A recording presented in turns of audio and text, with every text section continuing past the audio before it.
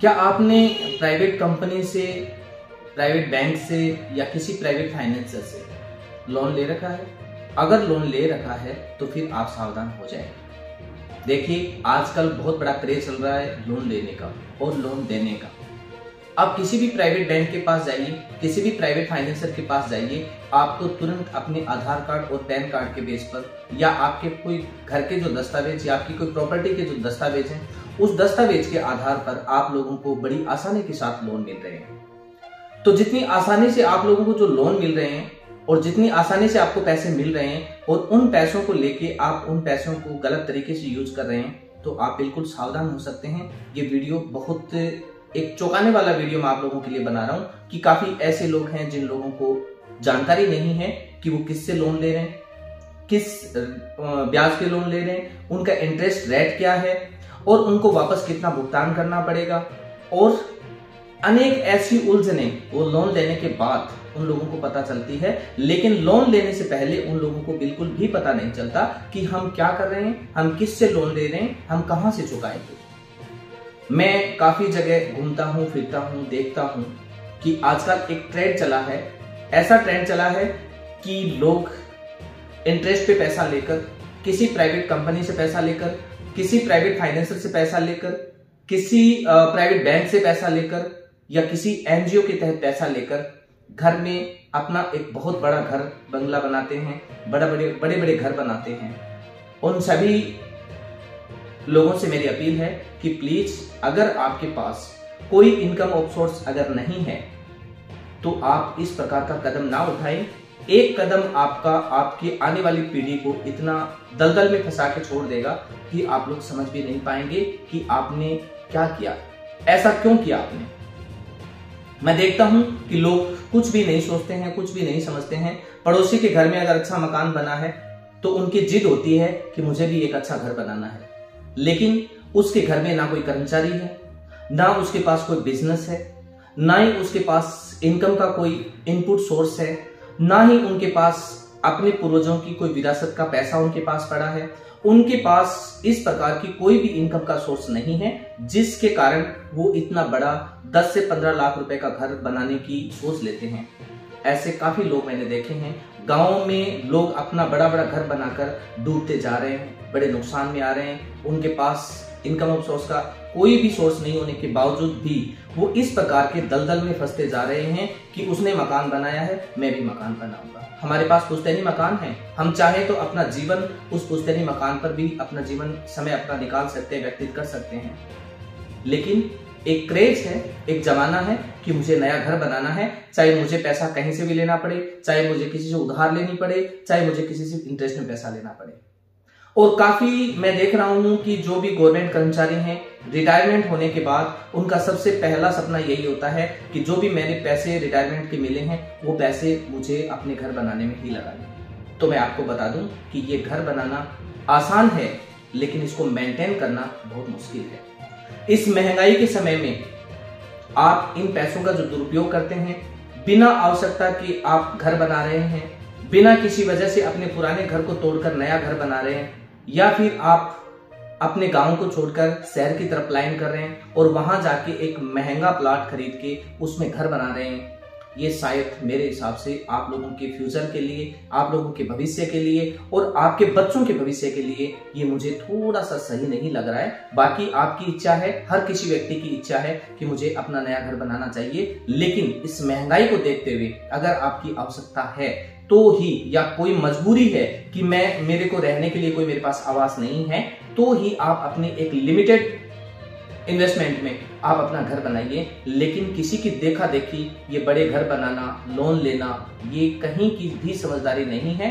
काफ़ी ऐसे लोग हैं जो इस प्रकार के जो जाल में फंसकर आज इस मुसीबत में आके फंस गए कि वो वो ना तो वो घर बिकता है और ना ही वो उनकी मेंटेन कर पा रहे हैं और ना ही वो कर्जा जो है उतार पा रहे हैं।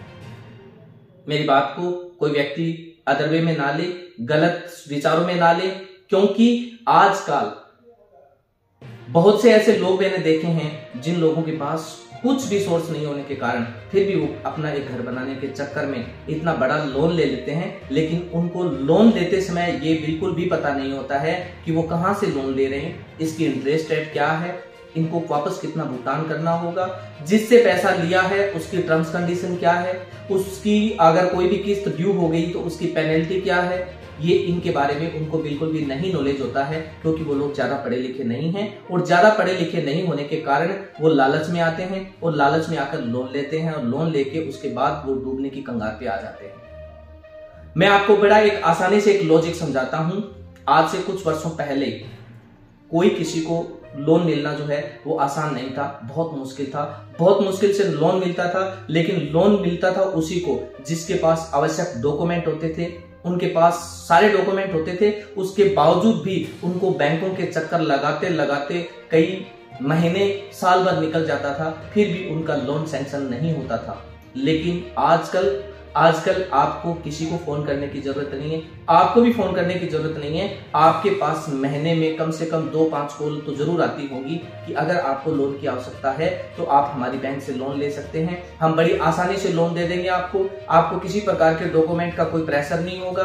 आप जैसे चाहेंगे वैसे हम आपको लोन दे देंगे। आप जितना अमाउंट चाहेंगे, उतना अमाउंट का हम आपको लोन दे देंगे। लेकिन अगर आप लोन लेना चाहते हैं तो आप हमारे पास तुरंत संपर्क कीजिए। हमारी ये ब्रांच है, इस ब्रांच में आकर आप अपना लोन अप्लाई कर सकते हैं। पैसे का लालच सबको होता है। बड़ी आसानी से अगर पैसा किसी को मिलता है तो कोई भी व्यक्ति लालच में आ जाता है और वो बिना सोचे समझे ये कदम उठा लेता है और उठाकर वो अपने, अपना डॉक्यूमेंट लेकर उस लोन को अप्लाई कर देता है। लेकिन लोन को अप्लाई तो आप कर सकते हो। आसानी से लोन अप्लाई हो जाएगा, क्योंकि आजकल प्राइवेट एनजीओ प्राइवेट बैंक और प्राइवेट फाइनेंसर जो हैं, वो इतना पैसा लेकर बैठे हैं, क्योंकि उनको कोई भी प्रॉब्लम नहीं है आपको लोन देने में। क्योंकि उनके पास पेनल्टी और ब्याज के इतने पैसे हैं, इतने पैसे आते हैं कि वो आगे से आगे लोगों को, आगे से आगे लोगों को जो है वो इंटरेस्ट में पैसा देते हैं लोन देते हैं। पहले बैंकों का लोन मिलना आसान नहीं था, लेकिन आज आप किसी से भी लोन ले लो, आपको बड़ी आसानी से लोन मिलता है। आपने लोन लिया, लेकिन उसको टर्म्स कंडीशन नहीं पहुँचा। आपने लंबे समय के लिए लोन ले लिया, लेकिन आपको यह पता नहीं है कि वो कितना गुना आपको भरना पड़ेगा। आजकल मेरे पास कई ऐसे उदाहरण हैं। काफ़ी मेरे ऐसे क्लोजर व्यक्ति हैं, जिन व्यक्तियों ने इस प्रकार के लोन लिए हैं और लोन लेने के बाद आज वो डूबने की कंगार पर आ चुके हैं। आज उनकी यह हालत हो गई कि वो घर भी नहीं बेच सकते और वो लोन भी नहीं चुका सकते। उनकी स्थिति बहुत खराब है। मेरा सभी नागरिक बंधुओं से निवेदन है कि प्लीज़ आप लोगों को अगर ज़रूरत ना है तो आप लोन ना लें। बहुत मुसीबत मुसीबत हो गई। कोई ऑप्शन नहीं है, कुछ भी कोई विकल्प आपके पास नहीं है तो ऐसी स्थिति में अगर आपकी मजबूरी है तो आप लोन ले सकते हैं। लेकिन लोन लेने से पहले ये ज़रूर देख लें कि आपके पास बेचने के लिए संपत्ति है या नहीं।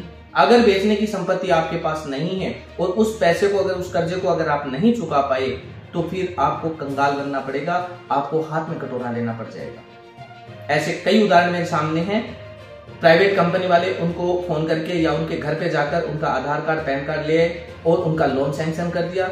और जिस व्यक्ति के पास महीने के पाँच हज़ार रुपए की इनकम ऑफ़ सोर्स नहीं है, ऐसे व्यक्ति के पास सात हज़ार रुपए महीने की किस्त आ रही है।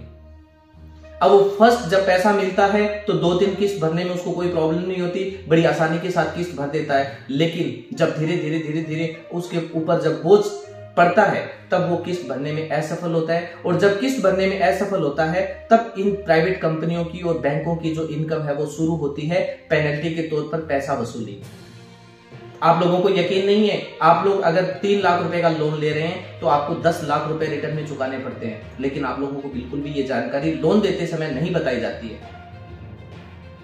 लोन देते समय ना आप लोगों को इंटरेस्ट की गाइडलाइन सही तरीके से बताई जाती है। आप लोगों को लोन जब दिया जाता है, उस समय आपको लोन का इंटरेस्ट मात्र छह प्रतिशत ब्याज बताया जाता है। लेकिन वो छह प्रतिशत ब्याज नहीं होता। वो पेनल्टी को जोड़कर दो रुपए यानी बीस परसेंट से भी ऊपर इंटरेस्ट होता है। इसकी जानकारी किसी को भी नहीं है। मैं आपसे निवेदन करना चाहूँगा कि ऐसी गलती ना करें आप। ऐसी गलती अगर आप करेंगे तो मुझे नहीं लगता है कि आपकी आने वाली पीढ़ी भी ये लोन चुका पाएगी। ना आप चुका पाएँगे, ना आपकी आने वाली पीढ़ी चुका पाएगी। क्योंकि पैसा लेना आसान होता है, लेकिन पैसा देना बड़ा मुश्किल होता है। बिना ब्याज के पैसे भी हम दे नहीं पाते हैं तो हम इतना बड़ा इंटरेस्ट का अमाउंट इतना बड़ा अमाउंट हम कहाँ से चुकाएँगे? बहुत से ऐसे व्यक्ति हैं, जिस व्यक्ति की इनकम ऑफ़ सोर्स दो पाँच हज़ार, दस हज़ार रुपए महीने की है, उसका परिवार का खर्चा है लोन की किस्त है वो ना तो लोन की किस्त चुका पाता है, ना घर में अपने बच्चों का पालन पोषण सही तरीके से कर पाता है। ऐसे कई उदाहरण हमारे सामने जिन्होंने आज से दो साल पहले तीन लाख रुपए का लोन लिया था। दो साल पहले तीन लाख रुपए का लोन लिया था और दो साल से वो सात हज़ार रुपए महीने की किस्त भर रहे हैं। और आज भी बैंक या प्राइवेट कंपनी जिस, जिन्होंने उनको लोन दिया था, आज भी वो उनके पेलेंटी और वो सब इंटरेस्ट वगैरह जोड़कर आज भी वो तीन लाख रुपए उनके मांग रहे हैं।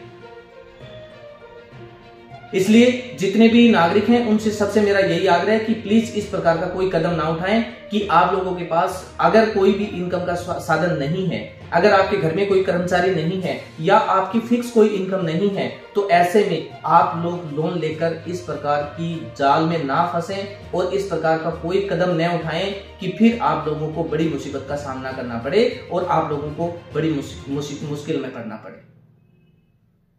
हर एक व्यक्ति आजकल चलन में पड़ा है कि मुझे घर बनाने के लिए पैसों की ज़रूरत है और पैसे ले लेते हैं, लेकिन चुका नहीं पाते हैं।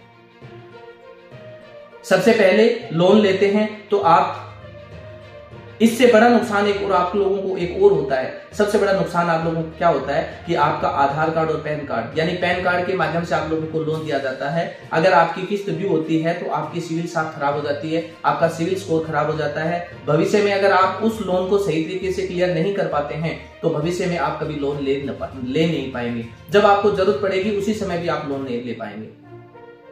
इसलिए ज़रूरत के मुताबिक आप लोन लीजिए, अगर ज़रूरत नहीं है तो ऐसे में आप लोन मत लीजिए। अगर आपके घर में कोई भी कर्मचारी या कोई बिज़नेस का पैसा या कोई अदर सोर्स इनकम नहीं है तो आप बड़े, बड़ा घर बनाने का सपना बिल्कुल भी मत लीजिए, वरना आपको ऐसे दलदल में फंसना पड़ेगा कि वो घर आपको काटने के लिए आएगा।